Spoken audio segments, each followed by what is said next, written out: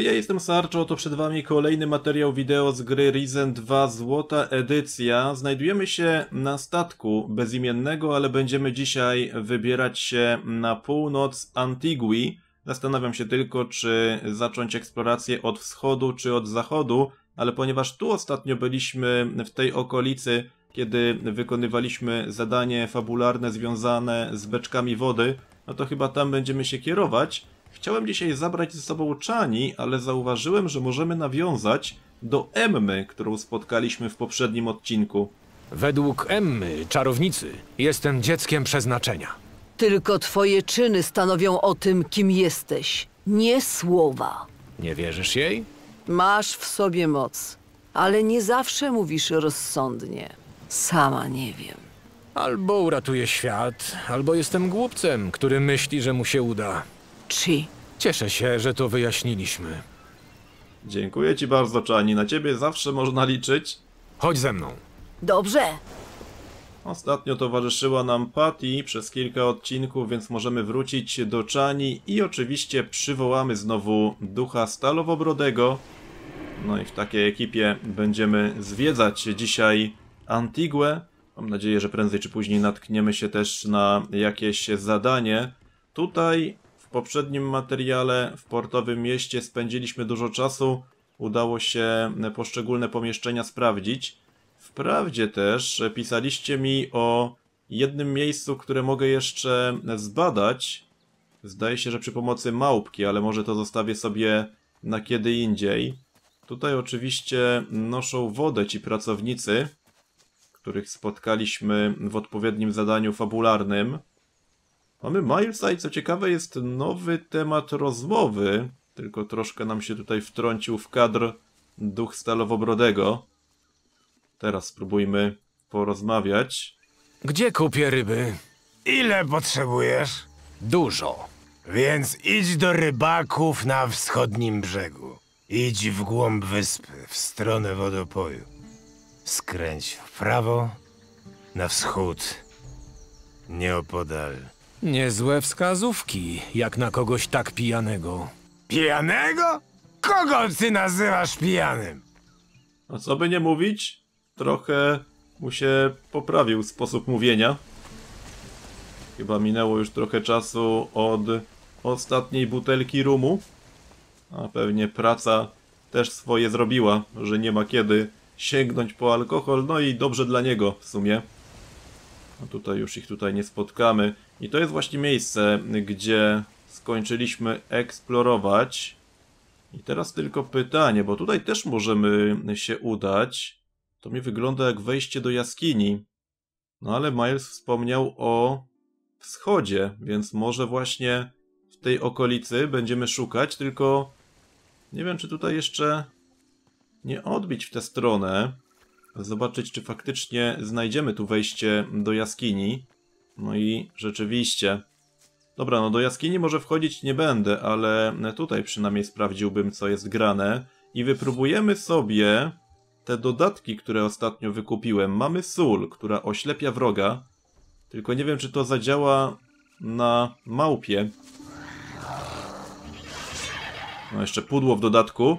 Ale pytanie, czy to pudło dlatego, że akurat nie wyszło? Czy też dlatego, że tylko możemy to zastosować na człowieku?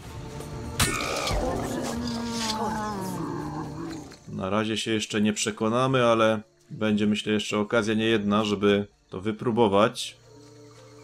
No i też chciałbym sprawdzić papugę. Ostatnio też się nauczyliśmy odpowiedniej umiejętności, a papuga ma odwracać uwagę przeciwnika od nas, co może być dobrym rozwiązaniem na silnych wrogów szczególnie. Zobaczymy jak to będzie działać przy jakiejś okazji. Tymczasem tutaj już dalej i tak nie pójdę. Jak właśnie będziemy wchodzić w głąb tej dżungli, no to będziemy w stanie powalczyć więcej. Tam dwa odcinki temu widzieliśmy, że były jakieś małpy kolejne i to chyba te już silniejsze.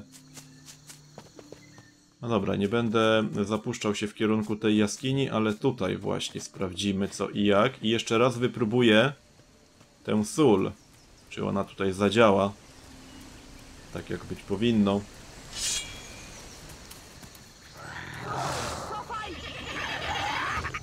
A, faktycznie. Oślepiło ją, ale tylko przez chwilkę, szczerze mówiąc. Więc czy to jest takie użyteczne, to bym polemizował w tym momencie. No ale wiecie, chciałem przynajmniej wypróbować. Piasek działa właściwie identycznie. No ale też możemy wypróbować. A nie, piasek to ja już miałem, a łatwopalny olej. Umożliwia zianie ogniem. Tego jestem ciekaw.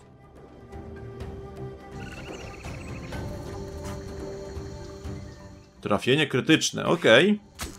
Czyli można powiedzieć taka alternatywa dla naszego pistoletu. Alternatywa przy okazji może nawet trochę bardziej efektowna.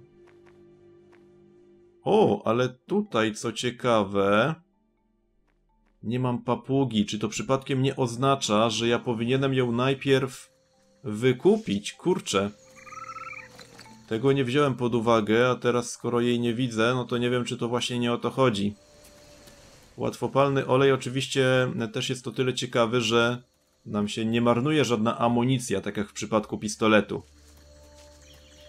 Tam gdybyśmy poszli, to tak, jak najbardziej mamy dalszą część lokacji.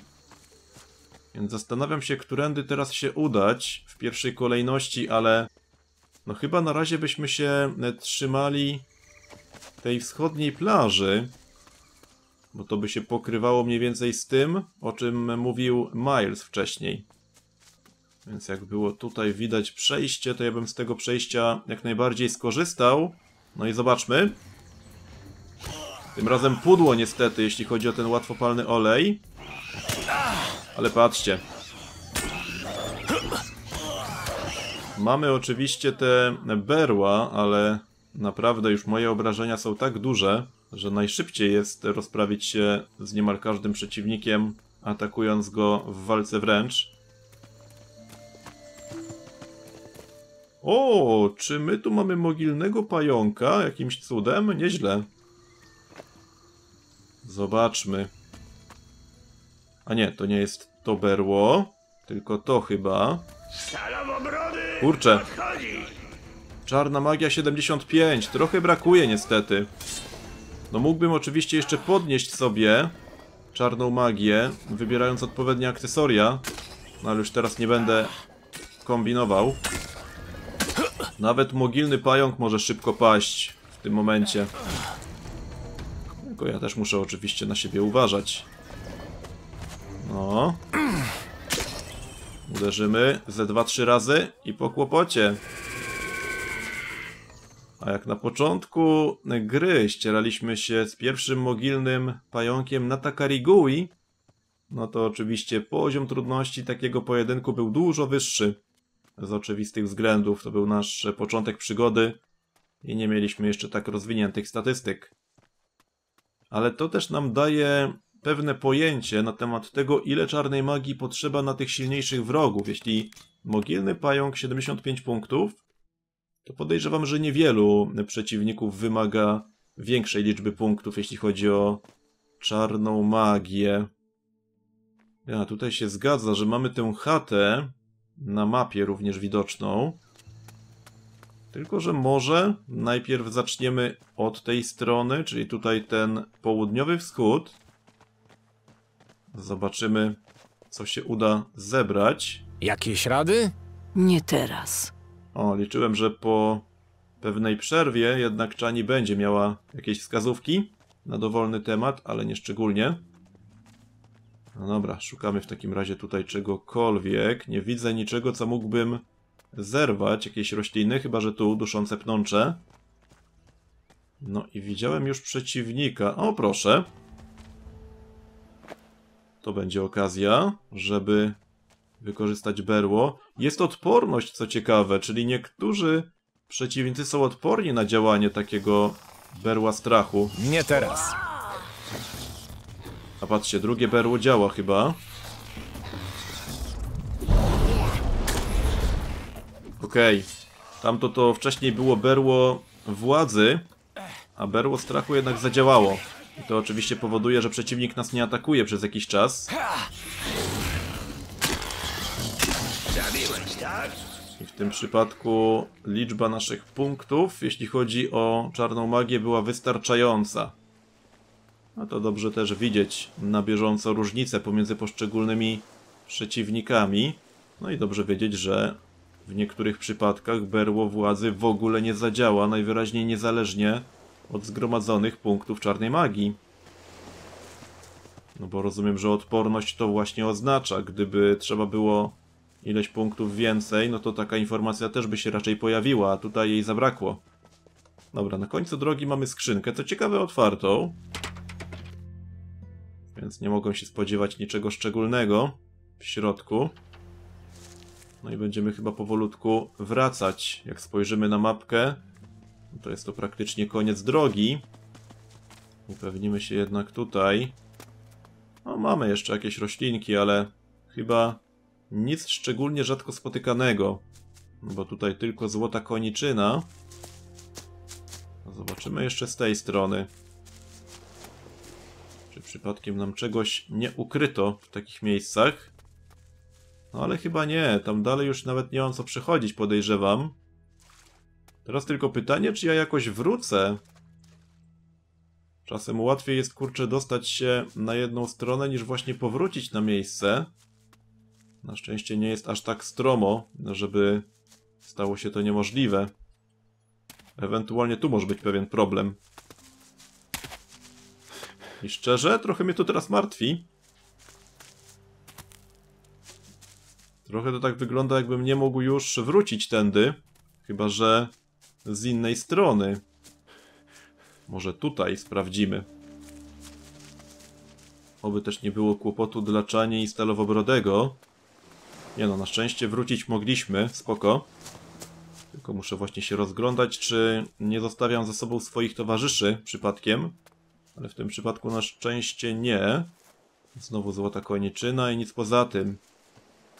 No dobra, trochę zawód, jeśli chodzi o to, co tutaj znaleźliśmy. No ale będziemy coraz bliżej tej chaty. I z całą pewnością będę chciał się dostać do środka. Tylko jeszcze rozejrzymy się i tu.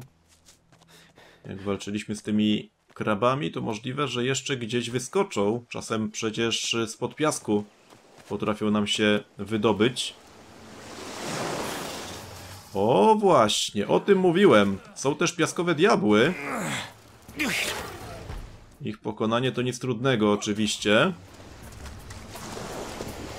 No i patrzcie, znowu możemy na przykład wypróbować. Czarna magia, 45 punktów wymaganych. I znowu strach zadziałał. No jest to też o tyle ciekawe, że ten strach powoduje to samo, co przewrócenie takiego kraba. Czyli on wtedy nie jest w stanie się bronić, na szczęście. To jest ważna informacja. Martwi mnie tylko to, że jednak tym razem zgubiłem Stalowobrodego i Czani. Tak to się niestety dzieje, kurczę, kiedy przechodzimy przez jakieś skały, ale dobra, pojawili się na szczęście. Ej, ej, a rzeczywiście. Tak się patrzyłem na nich, że wyglądali jakby byli w trakcie walki. A to dlatego, że te piaskowe diabły tutaj atakują. No a widzicie, że to są właśnie kolejni przeciwnicy, którzy nam się wydobywają z podziemi. Czasem jak z daleka nam się wydaje, że nie ma żadnych wrogów, lepiej tam podejść. I czasem możemy jednak natknąć się na jakieś towarzystwo. A to zawsze dodatkowe punkty chwały, więc czemu by nie? No dobra, tutaj już bym wracał, jak rozumiem. Kierujemy się zatem powolutku w stronę tej chaty. Zobaczymy, co my tutaj znajdziemy ewentualnie. Nie mam mięsa do smażenia. A to zaskakujące, że ostatnio właśnie trochę tego mięsa mi brakuje. Od czasu do czasu oczywiście coś wpada i wtedy na bieżąco to sobie podsmażam, ale w tym przypadku już nie możemy na to liczyć niestety. O, jest kolejna ta mniejsza małpka. Czyli tak naprawdę teraz z perspektywy czasu, aby wykorzystać jak najwięcej możliwości na zdobywanie tych czach małpy, no to wiedząc, że będziemy grać e, po stronie voodoo, można te wszystkie małe małpki na początku gry omijać. No bo na początku gry oczywiście nie możemy tej czaszki małpy zbierać. Dopiero jak zdobędziemy nóż rytualny jest to możliwe.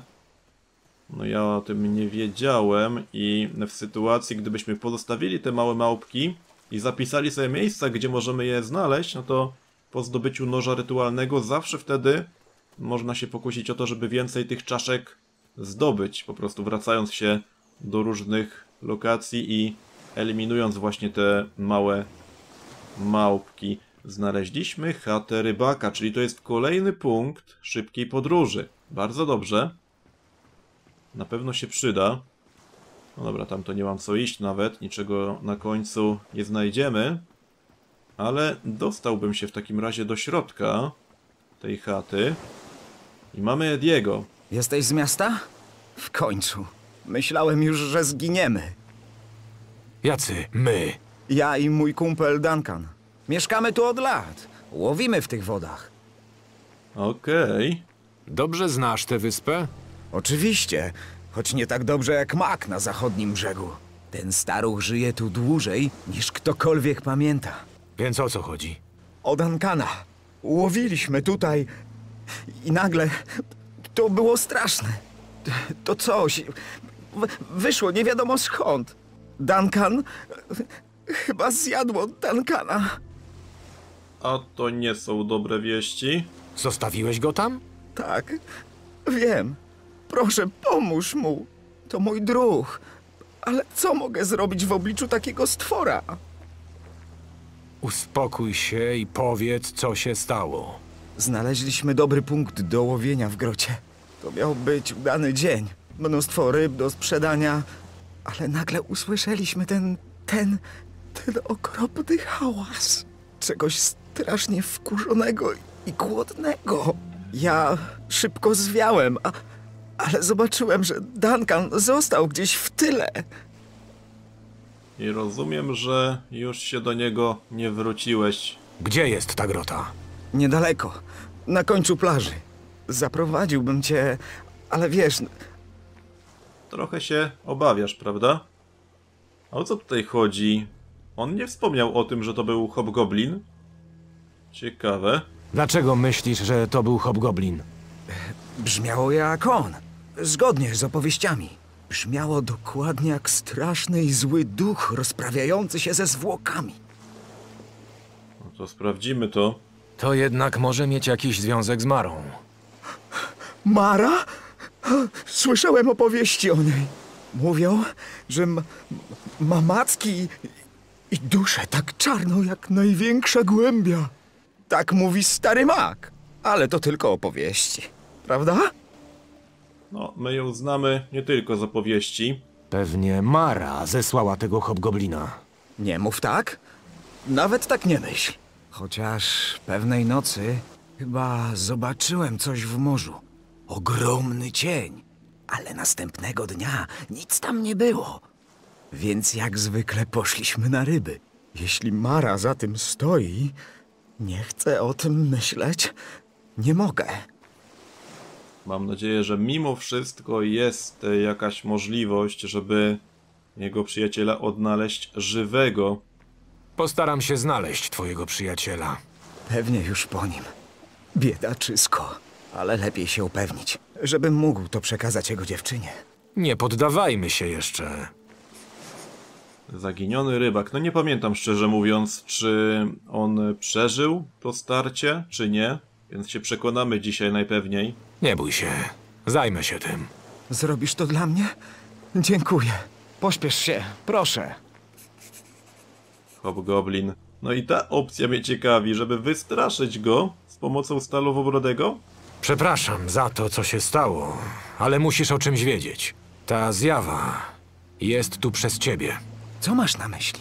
Słyszałem, jak do siebie szepcze coś jak Pragnę zjeść mięso jakiegoś leniwego rybaka. Myślisz, że, że chodziło o mnie? Leniwy? Nigdy w życiu. O, jak późno. Muszę wracać do pracy.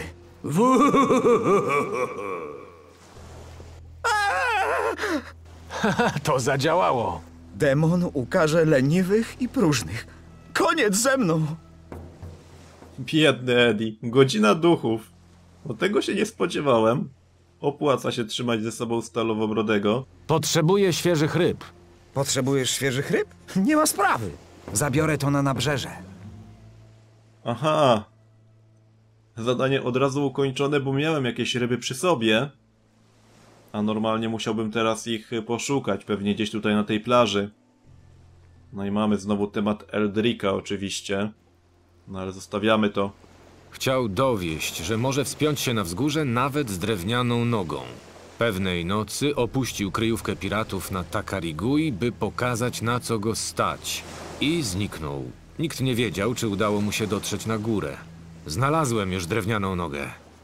Aha, czyli to dotyczyło tego legendarnego przedmiotu właśnie drewnianej nogi, którą już jakiś czas temu zdobyliśmy. Oj kurczę. No i teraz pytanie. Zapomniałem się trochę, otworzyłem to, a Eddie nie będzie miał nic przeciwko? Jest szabla między innymi. Głupiec! Koniec tych wygłupów! Okej, na szczęście dużych konsekwencji tego nie ma. A szczerze mówiąc sobie nie wyobrażam, żeby Eddie się rzucił na bezimiennego. Z tego powodu, że zabieramy zawartość tej skrzyni. Jednak widać, że chłopak trochę ma problemy z odwagą. A czasem nie chodzi o odwagę, tylko o umiejętności, po prostu. No dobra, no to sprawdźmy od razu dziennik, jak to wygląda. Zaginiony rybak. Duncan zniknął w grocie. Tutaj ten hobgoblin jeszcze. No tak czy siak się tam wybieramy. I to tutaj. To jestem ciekaw, czy wejście znajdziemy jakoś właśnie z tej strony, czy może tutaj na wodzie. Dobra, będziemy to sprawdzać. Rozejrzymy się na pewno. Razem! Kurczę, w sumie to skoro mam odblokowane coś, a mianowicie szybką podróż, to może bym wrócił jeszcze i spróbował wykupić tę papugę, co? Bo jak tutaj walczymy z tyloma przeciwnikami, warto by było tę opcję wypróbować, a więc spotkamy się w innym miejscu. A konkretnie na tej plaży na południowym wschodzie, no właściwie to na południu, gdzie możemy spotkać Queena. No i tutaj możemy od niego coś wykupić. Zobaczmy, co tam masz. Ale oczywiście. Nie śpiesz się. No i oczywiście, że jest papuga do wykupienia. Odwraca uwagę wroga. Musimy pozbyć się tysiaka. No ale mam nadzieję, że będzie warto. Jest już wykupiona, więc to by było na tyle tutaj. I teraz przejdźmy sobie szybko do ekwipunku. Lewa ręka jest papuga. Ta wytresowana papuga może być użyta do odwrócenia uwagi przeciwnika. No i zaraz się przekonamy, panie i panowie. Możemy przenieść się od razu do chaty rybaka. I tutaj będziemy mieli zaraz do czynienia z tym wielkim krabem. Spróbujemy odwrócić uwagę. Ciekawe, czy za każdym razem to działa. Mam nadzieję, że tak, żeby było to skuteczne. Dekoncentracja, no proszę.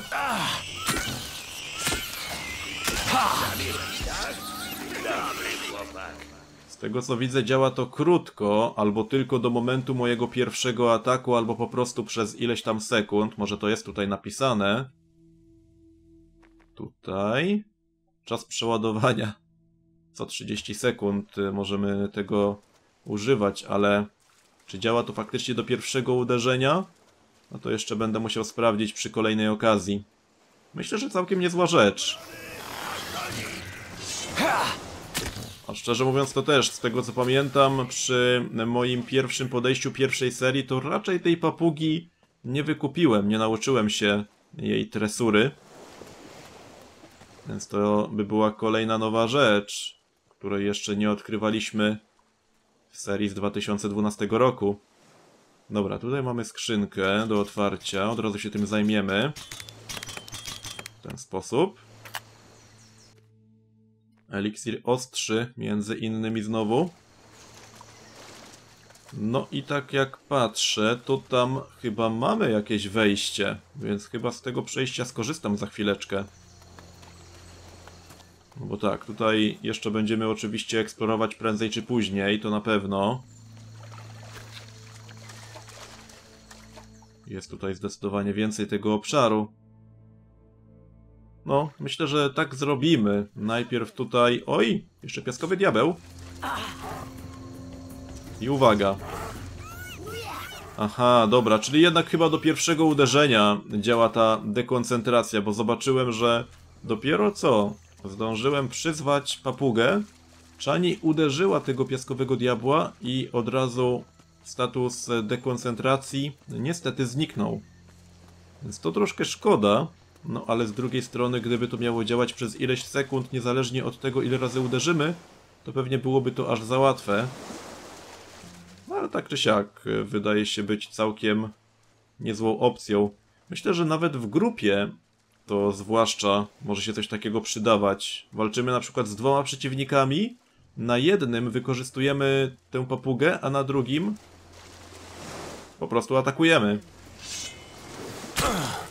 Mam nadzieję, że ta informacja o życiu papugi nie będzie mi non-stop, kurczę, tutaj się pojawiać, bo zawsze było tak, że jak już raz wykorzystałem jakąś funkcję, to wtedy te powiadomienia nam się nie pojawiały ponownie. O nie, żeby tylko się nie okazało, że się zgliczowała ta papuga. Trochę tak to wyglądało. Mimo, że pokonałem piaskowego diabła, to nagle się podniósł, ale na szczęście można było go dobić i wtedy dopiero papuga uciekła. No dobrze, tutaj już niczego więcej nie znajdziemy. No i wchodzimy, kurczę.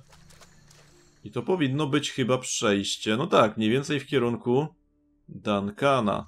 I teraz pytanie, czy znacznik nas kieruje do martwego Duncana, czy do żywego? Dobre pytanie, co? Tutaj trochę tych grzybków poku. O nie, chyba widziałem już jakiegoś stwora. O kurde. To jest pewnie ten hobgoblin w takim razie. No. Jakby spróbować strachu. O kurcze, 80 czarnej magii. Ja cię kręcę. Podprosimy. Kontrolę.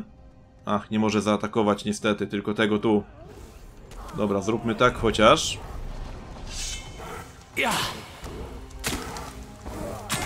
Dobra.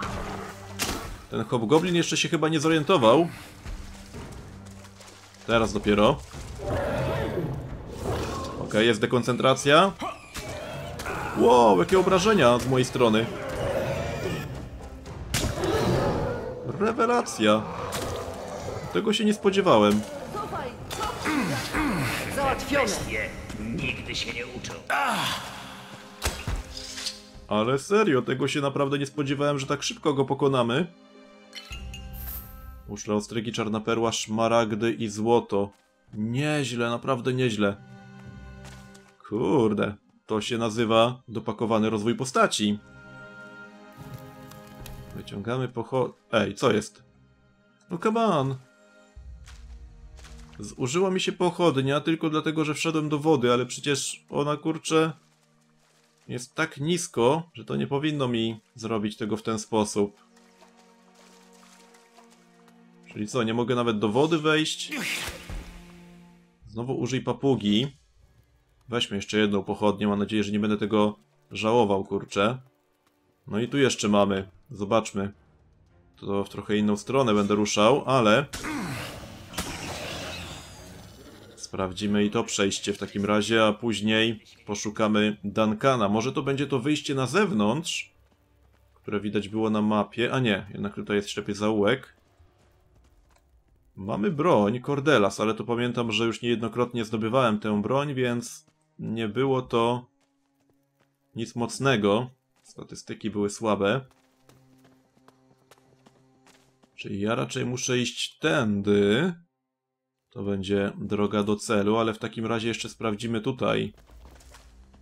No ja nie wierzę, co to ma być za jakiś dziwny błąd, że jak tylko wchodzimy do wody, która sięga nam praktycznie do kostek, to od razu pochodnia gaśnie. Ja jednak wolę z tą pochodnią chodzić, no bo dużo więcej widzimy wtedy. Ale jak tak będzie mi się zużywać non-stop, no to nie podoba mi się to. No jest tutaj jeszcze co nieco do zebrania. A teraz to w ogóle mam wrażenie, jakby ta pochodnia nic nam nie dawała. Tak szczerze. No o co chodzi? Teraz zmieniłem. No teraz dopiero działa. Ależ kurczę, z użytego tego więcej mamy. Dobra. No i tutaj to jest chyba jedyna droga tak naprawdę. Bo tu już sprawdzaliśmy przecież. A więc ruszajmy. Zużyliśmy chyba ze cztery pochodnie, albo i pięć. Zupełnie praktycznie bez powodu. Kolejne szczurki i mamy. Czyli jednak żyjesz, stary. Na to wygląda przynajmniej. Jest Duncan. No to super. Chociaż takie dobre wieści. Jeszcze pozwolimy sobie otworzyć tę skrzynkę.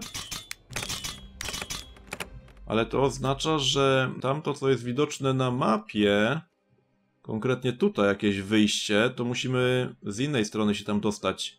Może jakoś tutaj? No trudno powiedzieć, ale tu już innej drogi za bardzo nie widzę. Wracam do pochodni, no i teraz z Duncanem sobie pogadamy, co? Skąd się tu wziąłeś? Z zewnątrz? Szukałem ciebie. Tak? Musisz być albo odważny, albo bardzo głupi, żeby tu przychodzić. Nie wiesz o grasującym tu potworze? Ja sam ledwo uszedłem z życiem. Właśnie widzę. Źle kombinujesz. To nie jest dobry plan. Przynajmniej tu jesteś. Nie słyszałeś przypadkiem, jak właśnie tego potwora pokonuje? Jak się tutaj znalazłeś? Łowiliśmy w grocie z moim kumplem Edim. Wtedy pojawił się ten potwór. Eddie uciekł i mnie zostawił. Ha, co za tchórz. To coś poszło za nim, a ja schowałem się tutaj. Ukrywać się? To nie do przyjęcia u nikogo, kto ze mną pracuje. To coś było ogromne. Widzę, że i Czani, i Stalowobrody nie najlepiej się spisują tutaj, jeśli chodzi o podejście do rozmówcy. Masz szczęście, że cię znalazłem. Sprawy mają się coraz gorzej. Kiedyś ta wyspa była całkiem bezpieczna. Jedyne, co mogło ci się przytrafić, to spotkanie pijanego jak bela pirata. A teraz mnóstwo różnych potworności wypełza z morza. Nie rozumiem, dlaczego tak się dzieje. Tak, tak, wiem. Kiedyś to było i te sprawy, co? Można już iść. To coś nie żyje. Nie żyje? Dzięki Gergerowi. Na pewno więcej nie pójdę na ryby w to zasrane miejsce. Proszę, coś ci się należy za uratowanie mnie. Zostanę przy łowieniu ryb i zostawię poszukiwanie skarbów specjalistom. Tak, chyba będzie lepiej, ale proszę, mamy mapę z drogą do skarbu. No i jeszcze możemy wspomnieć o Edim. Twój przyjaciel martwił się o ciebie. Dlatego tu jestem. Nie wydawał się mocno zmartwiony, jak uciekał i mnie tu zostawił. Jak to wszystko się skończy, pewnie będziemy się z tego śmiać. Ale teraz, jeśli jeden z nas miałby zostać pożarty, wolałbym, żeby to był on. Jasne. Ten drań Eddie. Kiedy umrę, będzie pewnie chciał pocieszyć moją dziewczynę. Myślisz, że to jeden z tego rodzaju osobników? No w każdym razie załatwione. Do Ediego jeszcze pójdziemy. Ten skarb w grocie na Antigui. To by było tutaj właśnie zaraz obok, czyli chyba jak e, przejdziemy tam, gdzie byliśmy wcześniej przy tym ślepym zaułku, to powinien nam się X pojawić, takie mam wrażenie. Ale jeszcze zobaczymy. Ten Dobra, no bo Duncan już się będzie powtarzał. Zobaczymy, czy on przypadkiem nie wróci do Ediego. Może wtedy jeszcze jakaś dodatkowa rozmowa się nam aktywuje, a tutaj faktycznie jest ten skarb ukryty. Więc spróbujmy to odkopać, zobaczymy co jest w środku, no i następnie wrócę już do tej chaty rybaka. Tylko nie wiem, czy korzystać z szybkiej podróży. Może po prostu pójdę za samym Duncanem, licząc na to, że on uda się właśnie do samego Ediego i może wtedy będziemy świadkami jeszcze jakiejś kłótni po tym wszystkim.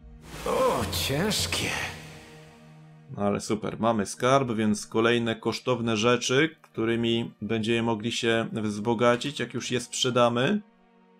O, 500 sztuk złota i dwa bożki. Super. Łączna wartość ponad y, tysiaczek będzie, to na pewno. No to tak jak mówiłem, ja teraz będę wracał i spotkamy się przy chacie rybaka. Powiem wam, że poszedłem tutaj pieszo, ale dobra, tu chyba mamy Duncana. Już chciałem powiedzieć, że chyba go zgubiłem, ale jednak pojawił się na miejscu. Ten drań Eddie. Dobra, czyli powtarzasz się w takim razie, nie będziemy świadkami żadnej rozmowy między nimi, ale myślę, że Eddie będzie zadowolony, jeśli powiemy mu o wszystkim. Tutaj Eldrick, mamy kwestię Hobgoblina na początek. Załatwiliśmy Hobgoblina. Na pewno nie żyje? O ile w grocie nie było dwóch okropnych, warczących stworów, to tak, nie żyje. Mamy mroczne czasy. Dziwne stwory wypełzają z morza. Obawiam się, że to dopiero początek, a najgorsze dopiero nadejdzie. To nas pocieszyłeś. No i nie wiem, czy zauważyłeś, ale twój kumpel wrócił już. Spokojnie, twojemu kumplowi Duncanowi nic już nie grozi. Nie mogę w to uwierzyć. Byłem pewien, że już po nim. Tak się cieszę, że go ocaliłeś. Szczerze, dziękuję ci. Obaj mieliście szczęście. Nie musisz mi tego mówić. I to całą furę szczęścia, jakby nie patrzeć. A gdzie ty idziesz? Gdzie się wybierasz? O, może pójdzie do kumpla? No byłoby spoko, jednak móc zobaczyć jakąś rozmowę. Muszę koniecznie pójść za Edim i zobaczyć, czy możemy na coś takiego tutaj liczyć? Bo szczerze mówiąc może być gorąco. Jak się za chwilę mocno pokłócą. A podejrzewam, że Duncan będzie chciał co nieco Ediemu wygarnąć i jestem bardzo ciekaw tego, jak się Eddie będzie nam tutaj tłumaczył. Cieszę się, że cię nie dopadł. Ja też. Tyle, że to nie był hobgoblin, to był lewiatan. I to mam nie podnieść na duchu? Przynajmniej obaj żyjemy. Przepraszam, że zwiałem i zostawiłem cię z tym potworem. Nie chciałem o tym wspominać, ale skoro zacząłeś. Kumple na zabój? Potrzeba więcej niż morskiego potwora, by to zmienić. No proszę, czyli jednak nie poszło tak źle. Te morza z roku na rok są coraz gorsze. Zauważyłeś? Aczkolwiek Duncana trochę poniosła wyobraźnia. Mówią, że to minie. Nie byłbym taki pewien. Poczekamy jeszcze, czy powiedzą coś więcej. Te dziwne dźwięki, które słychać w nocy. To jedna z tych rozmów, kurczę, co? To tylko wiatr, mam nadzieję. Jedna z tych rozmów po każdej wypowiedzi jest pauza. Te wszystkie potwory! Skąd one się biorą? Nie powtarzasz się już przypadkiem? Mogło być gorzej. Przynajmniej nie służymy szalonym kapitanom. Szkoda, że się jeszcze nie możemy włączyć w tę rozmowę. Te morza z roku na rok są coraz gorsze. Zauważyłeś? No nie wiem, już mam wrażenie, że to się powtarza, prawda? Mówią, że to minie. Nie byłbym taki pewien. Zdecydowanie się powtarza, okej. Ten dr... No dobra, czyli tu nic nowego. Możemy już odejść i w przyszłości jeszcze ewentualnie z Edim pogadamy, żeby zapytać o druida Eldrika. No ale to dopiero wtedy, jak będziemy zabierać się za dodatek fabularny. Póki co to wszystko z mojej strony. Zostawcie kciuka w górę, jeśli materiał Wam się podobał i usłyszymy się kolejnym razem. Cześć!